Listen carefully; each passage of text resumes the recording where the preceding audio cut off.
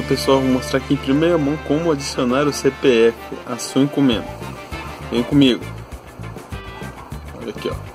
Vou entrar no meu AliExpress, é onde eu fiz a última compra recentemente. Um colega nosso aí que perguntou se dava para rastrear só a partir de quando chega no Brasil. Não, dá para rastrear desde que tá na China já. Vamos lá. Aí você vai nas suas encomendas. Okay meus pedidos. Ó. Estrear pedido. Vamos ver se isso aqui dá. Criar. Lembrando que o correio gosta. Ele, é, o correio tem uma parceria com o correio da China pelo EPACT.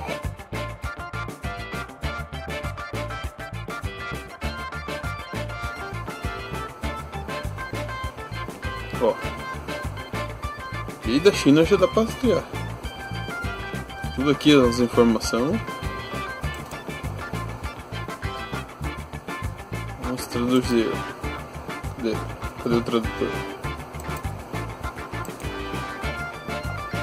É. Olha lá. Dizendo as informações de onde está o produto. Vocês veem como é que dá para rastrear desde quando já está na China. Só que eu rastrear por aqui,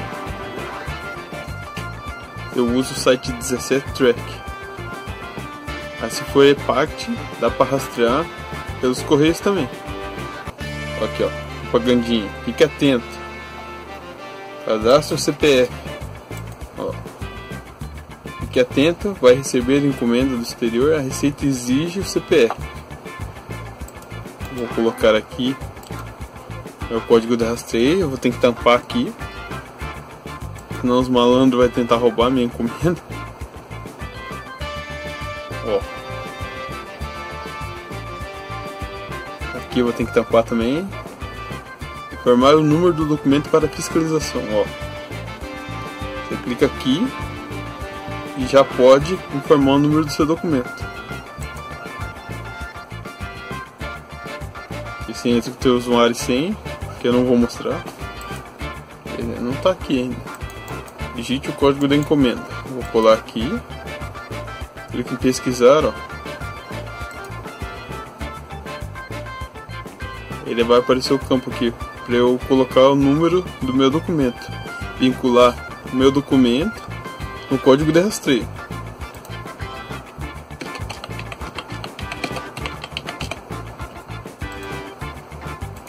Salvei.